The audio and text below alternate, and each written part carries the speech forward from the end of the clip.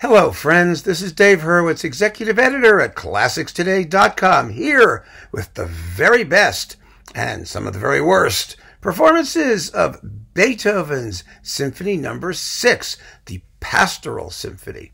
Oh, wow, do I love the Pastoral Symphony. Well, you know why? Because it was really the piece that got me turned on to classical music in the first place when I was a little kid. And I got to tell the story, even though I've told it before. You might as well hear it again. When I was a little tot, bouncing off my father's knee, my mother had this really good, solid record collection of classical recordings. And I was learning how to read. So that meant I was like five or six. I learned how to read when I was six, but I was sort of, you know, faking it before and trying to pronounce things. And I whipped out this record she had. It was Beethoven's Pastoral Symphony with William Steinberg and the Pittsburgh Symphony on Command Classics. I remember it like it was yesterday. And the cover of that album was The Harvest by Bruegel. You know the picture, right? Wheat fields and, and peasants sitting around making sheaves and things like that. That's what it was. And I looked at it and I said to my mother, What does this word mean, pastoral? And she said, Put on the music and look at the painting. And I did. And it hit me. And the sky opened. All of a sudden, I understood that there was an entire means of nonverbal communication out there. Gorgeous nonverbal communication. I heard it, I looked at it, and I understood it. And I was mesmerized. And the rest, as they say, is history. That's the story in brief. So I love Beethoven's Pastoral Symphony. It's like one of my best friends musically. And it's not an easy symphony to, to pull off. It really isn't. First of all, it's quite long. It's the longest Beethoven symphony after the Eroica and, of course, the Ninth.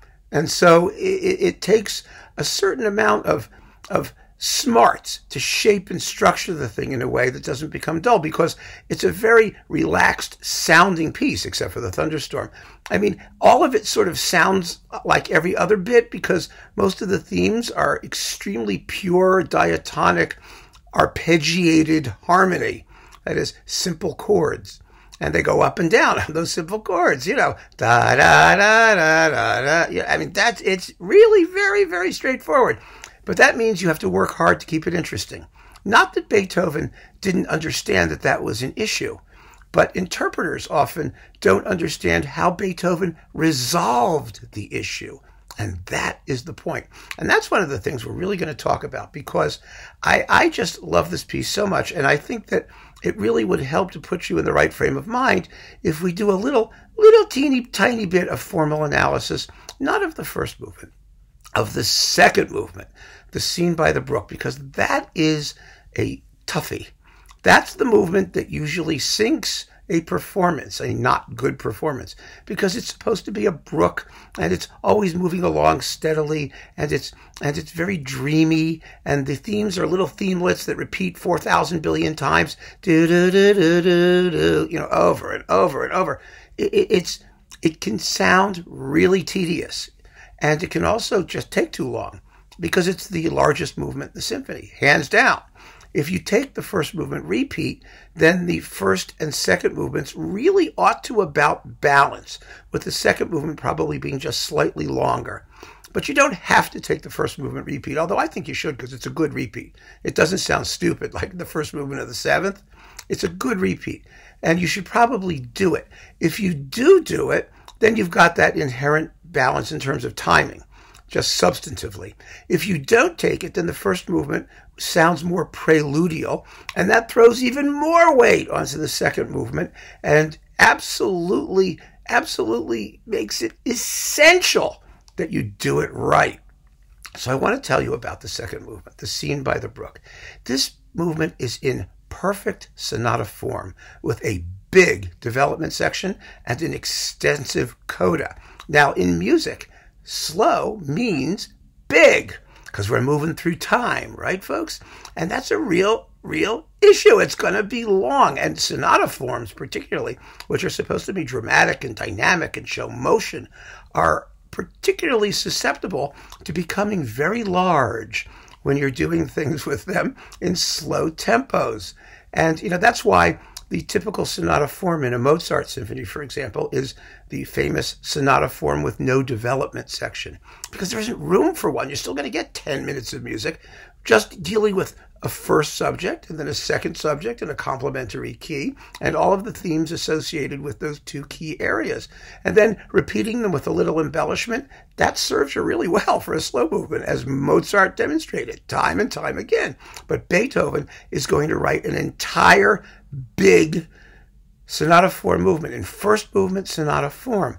And, and the way he does it is so sophisticated, so fabulous, because not only does the music do everything sonata movements are supposed to do, it has all of the, the tension and the movement of a sonata movement, but it, it does so while expressing total stasis, complete leisure, leisureliness, relaxation, but it's really moving all along. And it's this tension between movement and tranquility or movement that expresses tranquility, if you want to call it that, that so many conductors fail to realize. And and so let's let's just get right to it. Now, I have a, a sample here. Hold it. Oh, before I do that, I just have to tell you, see, I'm whetting your appetite and then frustrating you. Hee hee. My book, the Beethoven book, it's out. It's on Amazon. Please consider buying it. It's really a pretty good book, if I do say so myself. Okay, end of shameless plug. Now, I have here, wait a minute, I've got like dozens and dozens of recordings of this sucker. But the one that we're going to use as my exemplar for the slow movement of the Sixth Symphony is Paul Kletzki with the Czech Philharmonic, because it's the Czech Philharmonic and they sound so Czech and so Philharmonic and with fabulous woodwinds. So we're going to use this one as we go through the whole thing. And I'm just going to take you through the movement formally, very simply, because once you know what the form is, then the movement doesn't seem long at all. If you can follow the development, if you can follow the argument, all of a sudden it begins to seem very compact. It's amazing how your subjective perception of time changes once you know where you are. And this movement gave me so much aggravation when I was really trying to figure out how Beethoven put it together.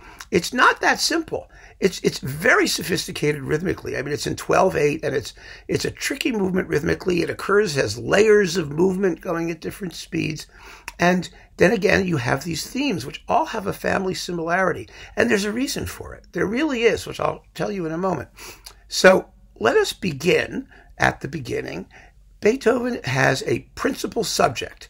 Sonata form movements, as some of you may know, have two subjects in complementary keys. A subject may contain a single theme or many themes and ideas. It doesn't matter. What matters is where you put them in terms of harmony. So this movement opens with a beautiful, relaxed subject consisting of tiny little fragments, a little melodic turn. Do do do do do do here it is. I'm going to play it for you.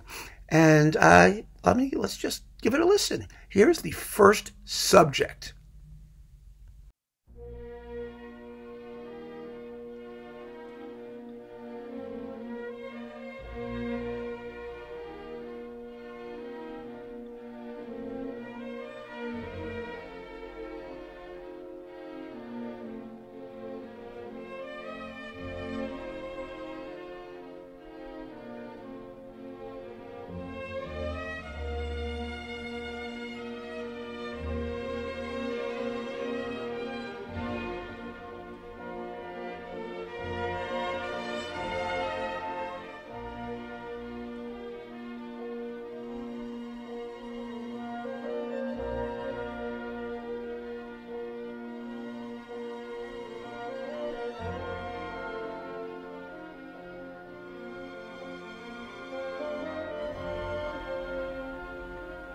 Now, I, I, mean, you know the symphony, you've heard that a million times. What you may not know is that in, in normally, you know, in a first movement exposition, you get you get a repeat of the whole exposition. I mean, the whole thing goes back to the beginning and gets repeated. Beethoven doesn't do that here. He doesn't do it because, well, possibly because it's a slow movement and it might seem deathly dull, but also because a brook that's meandering along doesn't meander backwards and start meandering all over again from the beginning. That could possibly be the reason. But actually, he plays each theme twice. And that's the first thing you need to understand that for this exposition, both the first subject and the second subject are going to be played twice, one right after the other. I mean, that is twice for the first subject, twice for the second subject, so that they're they're quite extended, and that creates a big, huge opening paragraph. And that's sort of once you know that and know how it works, you're going to be fine. So that was the opening theme. Now, in between the two statements of the opening theme, comes a little tiny bridge, which we only hear once. And this is what used to drive me crazy because, you know, they say, okay, you in sonata form, you have a first subject and there's a transition and then there's a second subject. And I used to say, what is that thing? What is this little thing? Here is that little, that little tiny thing.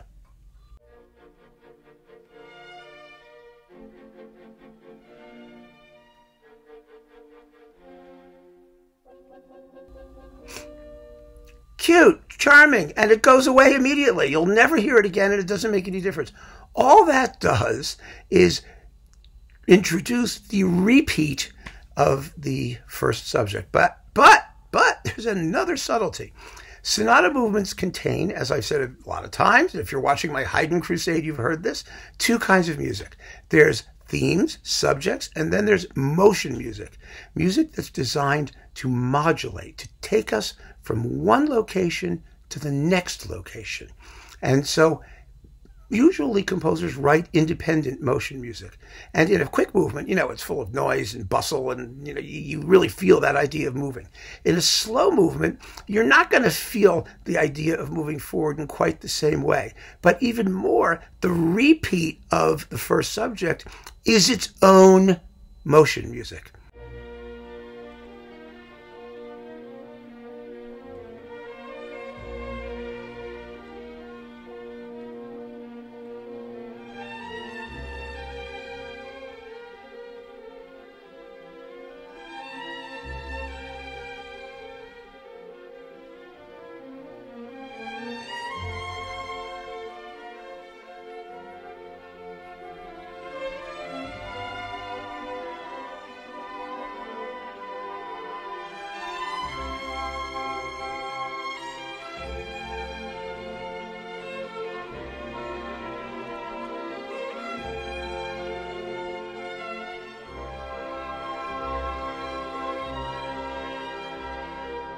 Beethoven immediately just starts changing it. It can go anywhere. It could go do do do do do do. You know, it doesn't make any difference, and that's how he achieves the transition to the second subject.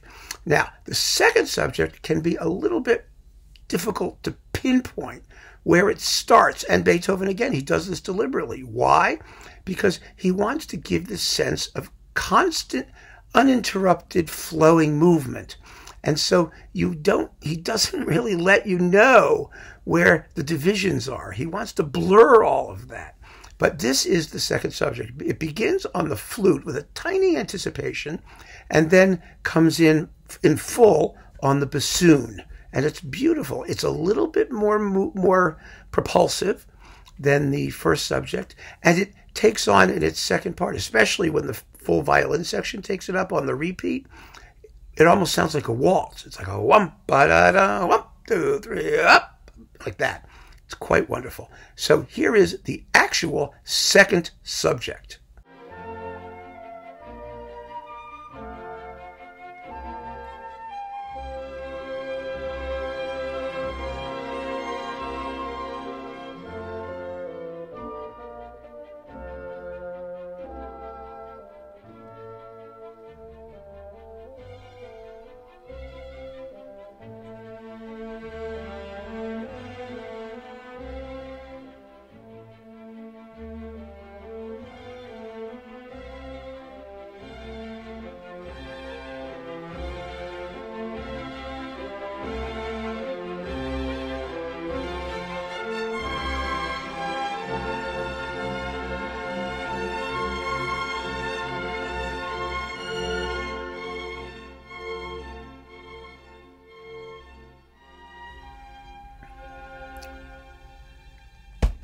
And then there's one more element that you need to know about.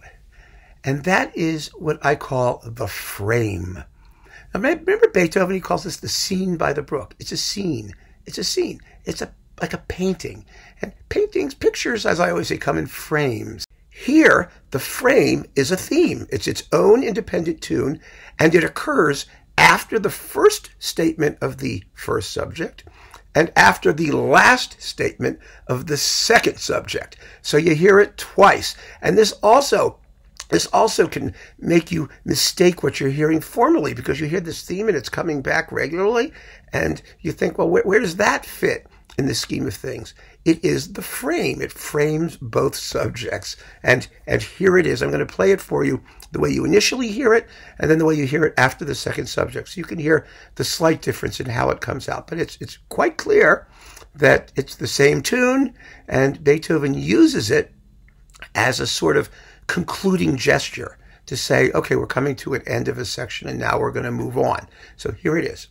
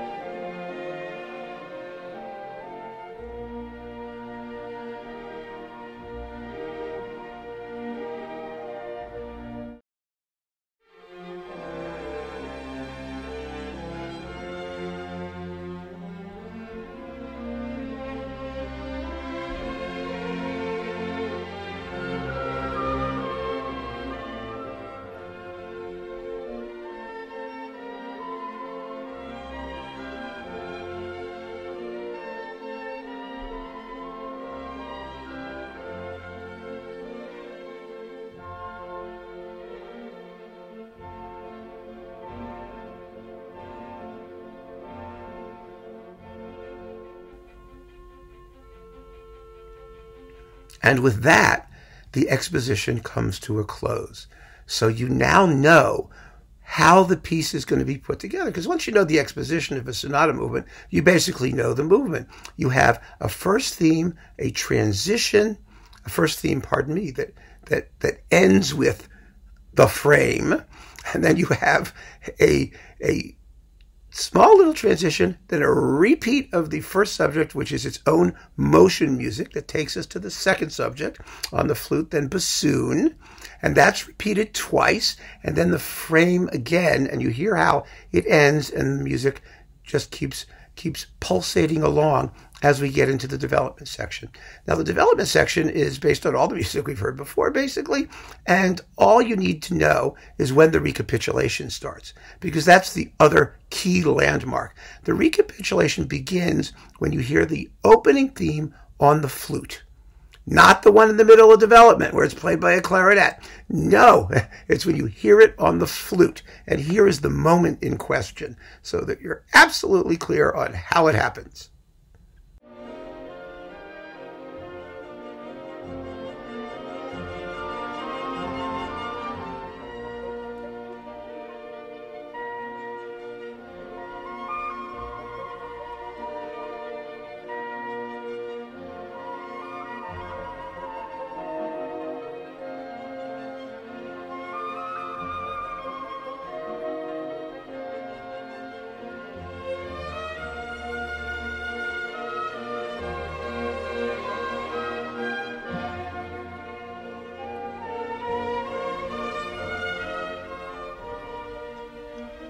Now, because Beethoven has already repeated all this stuff a lot already, he's not going to do the repeats in the in the recapitulation. He doesn't repeat each subject twice. You hear them once, and they they move along in a greatly abbreviated way, and the frame becomes the coda you know, the one with the little bird imitations and the cuckoo and the quail and the whatever the heck it is, the nightingale, whatever the other thing is there, you know, the partridge and the pheasant and the, you know, the swans flapping around, whatever it is, it's birds. So that is the form of the slow movement.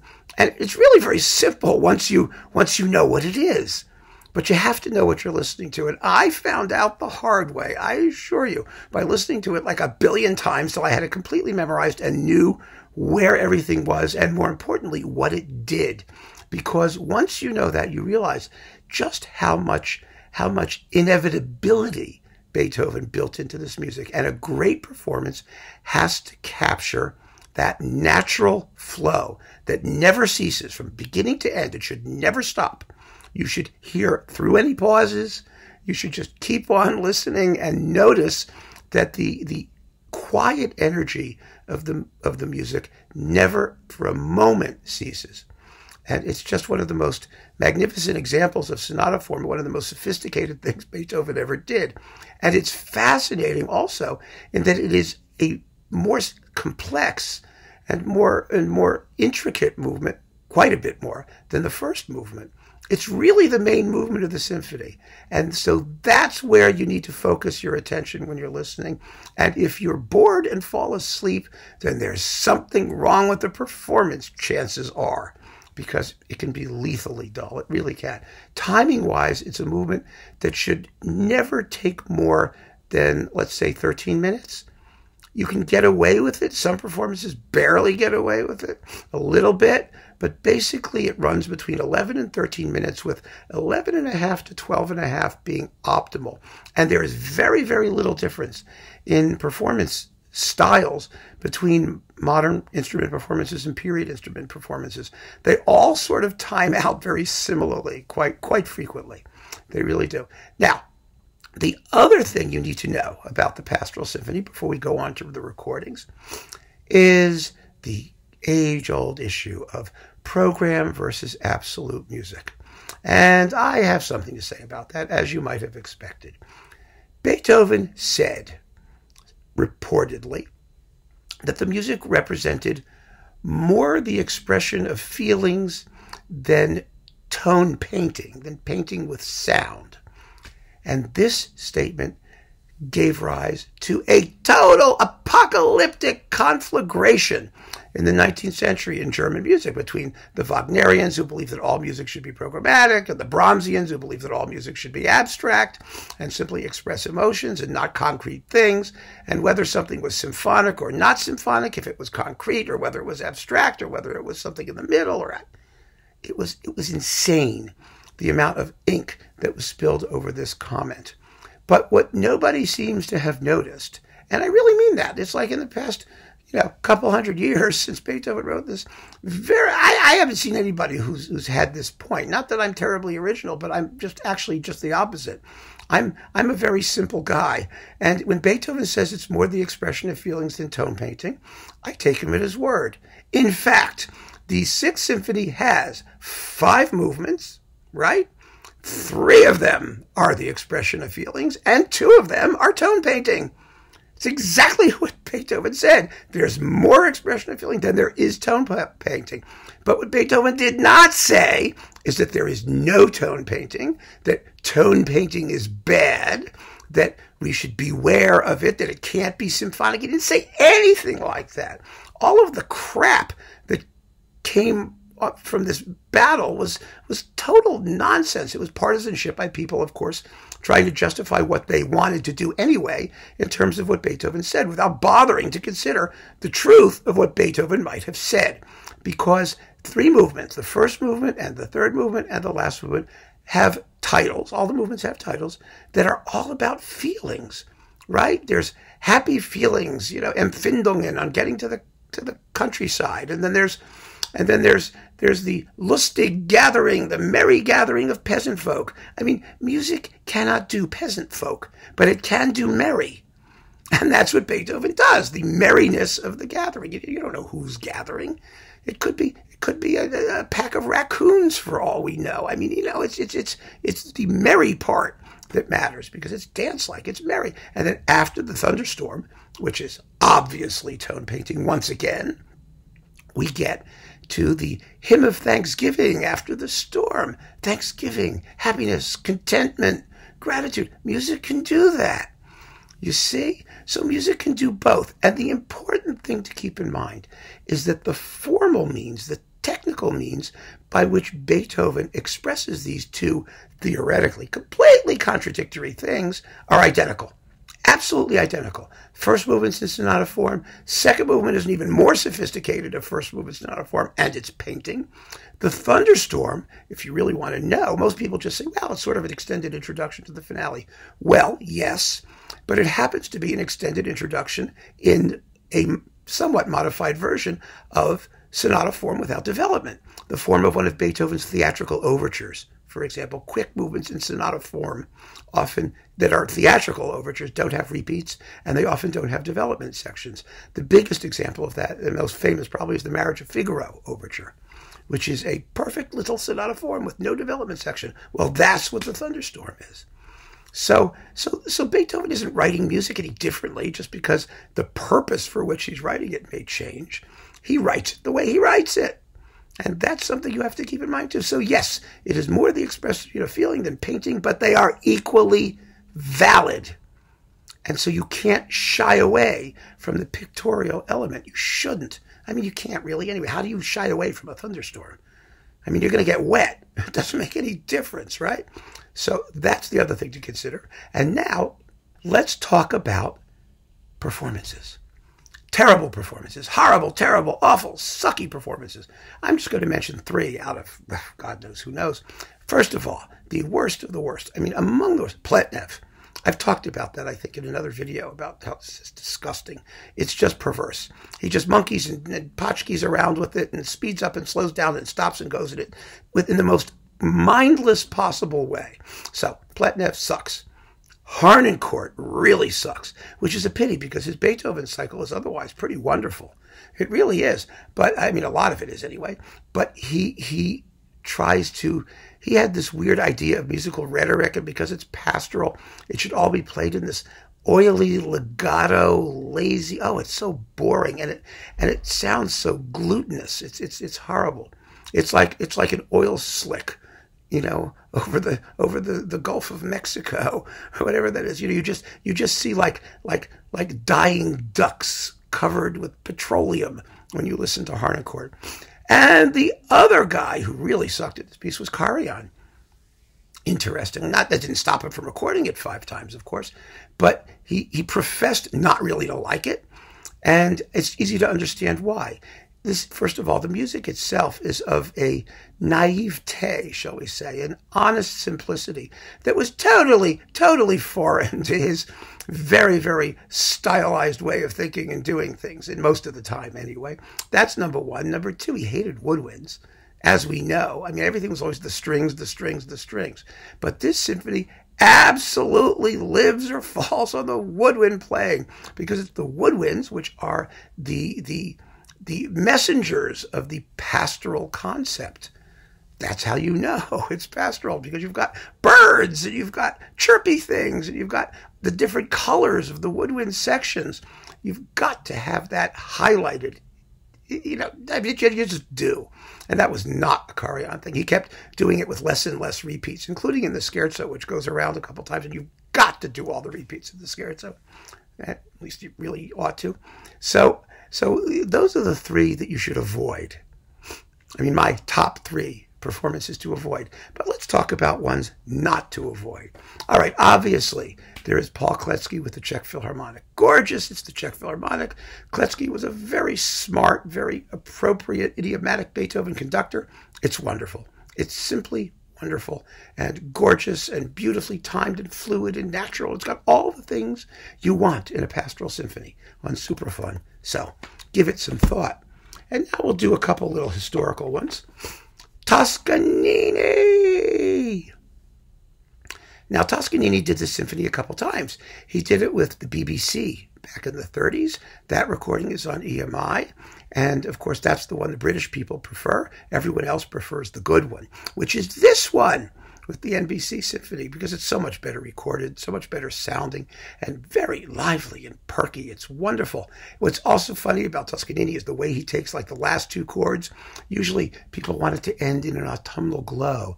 Wah, wah. You know, Beethoven just marks it simple forte, and Toscanini plays it the way Beethoven wrote it. Wah, wah. It's a shock. If you heard other performances, it's kind of interesting. But uh, it's a very, very fine performance. It's lively, it's fresh, it's exciting, and it has movement, which this piece must have. I mean, everything Beethoven wrote has to have that, but this really has to have it. So, if it's not to sound just sort of dull and everything sounds like everything else, it's got to move.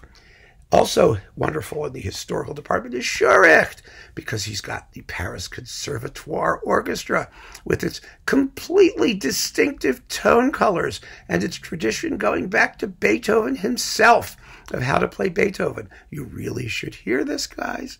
This is the one, the one that really is more authentic than anybody who plays period instruments. Vastly more authentic. So Schuricht on Warner, definitely worth considering. Again, then there is My Baby, the Steinberg Pittsburgh. Now, I was worried about this one because I imprinted on it, and I'm normally not sentimental about performances that I imprint on. I really am not, and I was prepared not to like it, and I hadn't heard it. I literally hadn't heard it in a couple of decades. And I, when this came out, this box came back out on DG, I put it on and said, "Oh my!"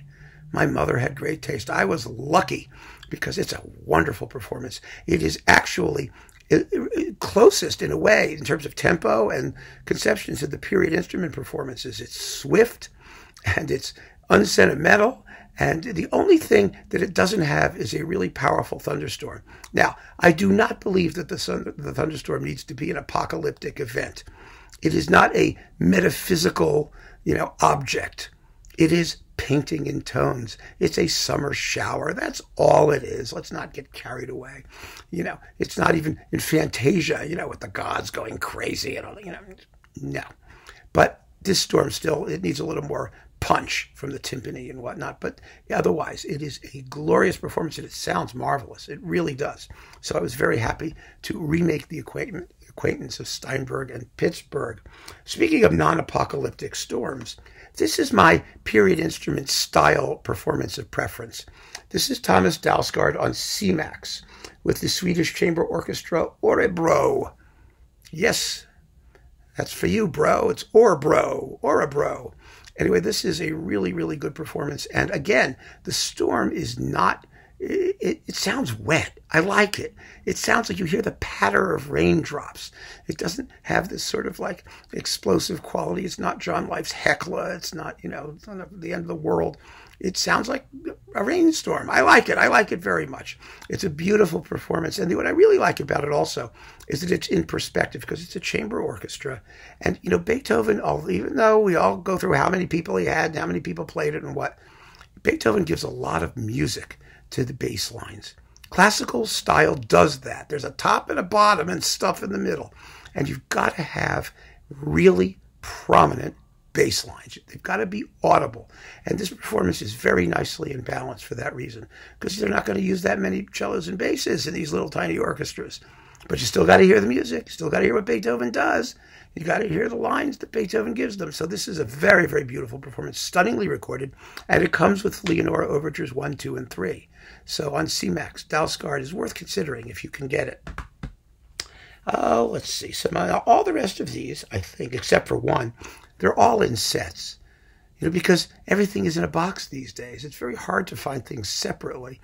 So, uh, you know, get a good set. You'll probably get a good pastoral symphony. You really will. This is, of course, Blomstedt with the Staatskapelle Dresden. Now, this is the Berlin Classics reissue, but it's also available on Brilliant Classics for like nothing. Virtually no money. It's the same performances. Some people have talked about remastered this, remastered that. Yeah, who cares? Makes no difference. Very, very beautiful because, again, great orchestra. You know, the Pastoral is one of those symphonies that really shows you how the orchestra plays and where different orchestras and different concepts of sonority can make a huge difference in how you perceive the performance. That's why the Czech Philharmonic is so wonderful. That's why the Staatskapelle Dresden is so wonderful in this music. So that's a great one. Also in period instrument style, naturally, Mackerras. You got to talk about Mackerras.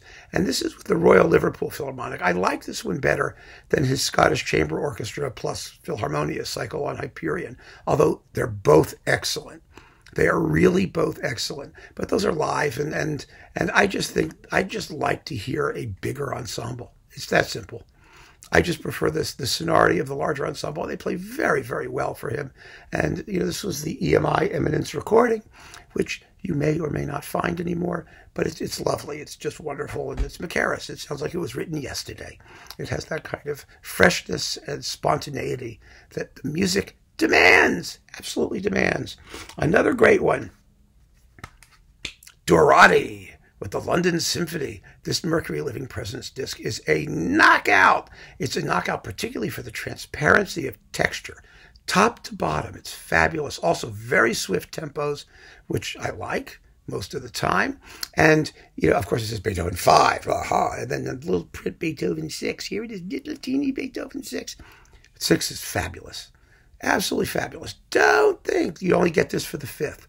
Get it for the sixth. Get it for the pastoral. It's even better. So there. That's a great one. And then we come to some classics. We're coming down to the last four. I had three horrible ones and 12 really good ones, which I think is a good balance, don't you? Good sense of proportion. Klemps. The Klemp.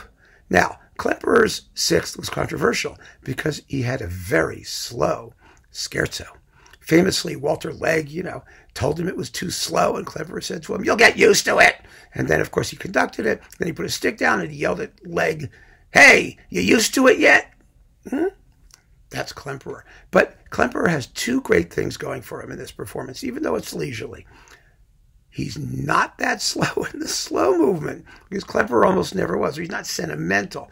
It's about 13 and a bit minutes. It's on the slower side, but he doesn't go nuts on it, number one, and it's all in proportion because the other tempos are leisurely. So, so if you're going to be leisurely in the quick movements, you can afford to be, you know, just normal in the slow movement, and it's going to sound faster. So it all just works out beautifully. And the other thing Klemperer has going for him is that he loved woodwinds.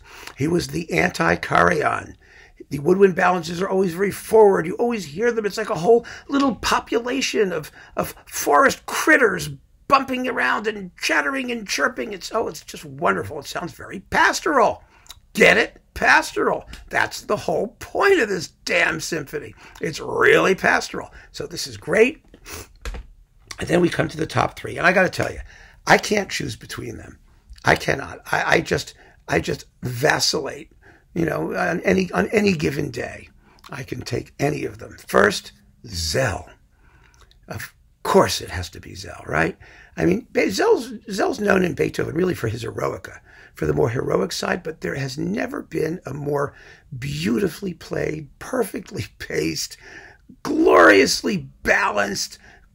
I mean, it's just perfect, and it has no stiffness.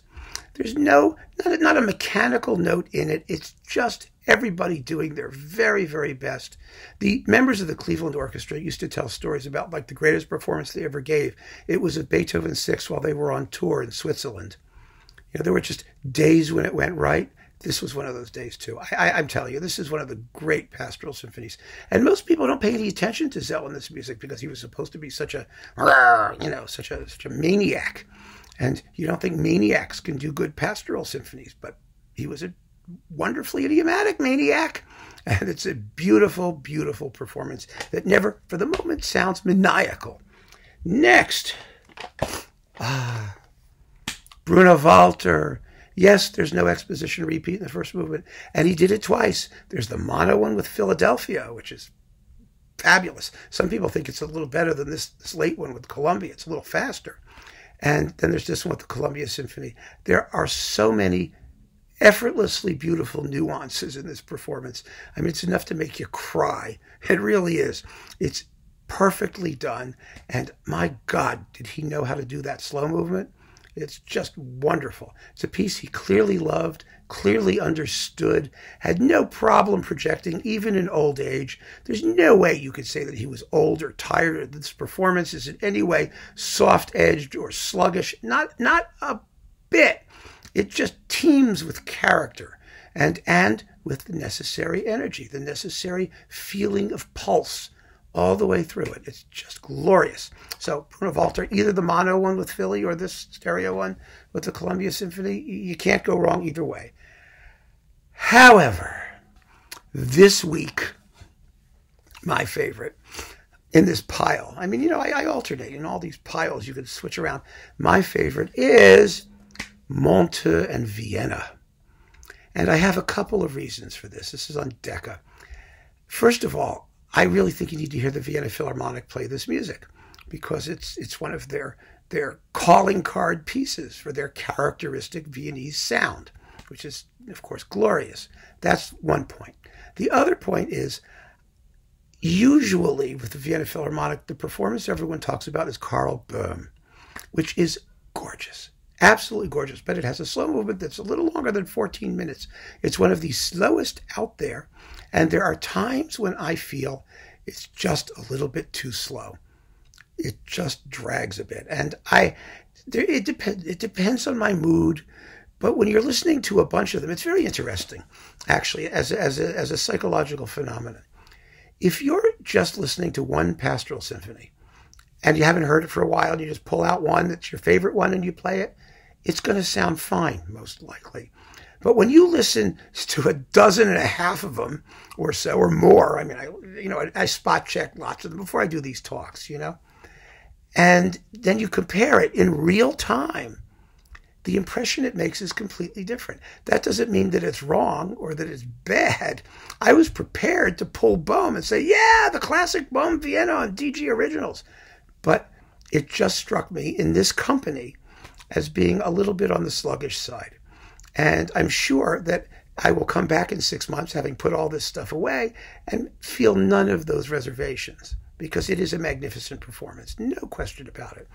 But I, I like to make comparisons, and in making the comparison, that's how it came out. And this one, let me tell you, Monteux was a lot like Bruno Walter in the sense that, that he had that that feeling for the music, that effortless concept of of flow and forward movement that you're not conscious of. It just happens.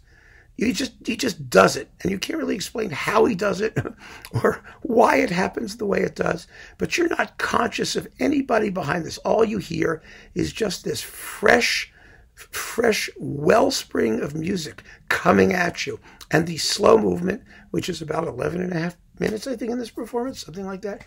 It has never been better done. Never, never by anybody. It has the most perfectly judged feeling of inevitability that you will ever hear. I mean, it's, it's incredible. It's one of those performances that when you listen to it, you can't imagine the music going any other way. And so I really strongly recommend that you give Monteux a good shot because it's fantastic. Absolutely fantastic. And those, my friends, are the great performances, and three of the terrible ones, of Beethoven's Pastoral Symphony. Now go listen to a few of them. You owe it to yourself. It's just the most gorgeous piece of music in the universe. I, it blows me away every time I hear it.